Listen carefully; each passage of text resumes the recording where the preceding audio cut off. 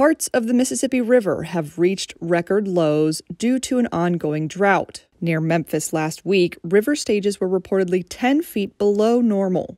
Barges carrying goods along the river are facing bottlenecks after the U.S. Coast Guard placed restrictions on vessel size and travel distance amid the drought. And those backups on the crucial waterway mean headaches for farmers and other industries, especially during peak harvest season. Severe to exceptional drought is gripping states like Oklahoma, Arkansas, and Tennessee, whose tributaries feed the Mississippi. Rainfall is expected across the region soon, but will likely not significantly raise water levels.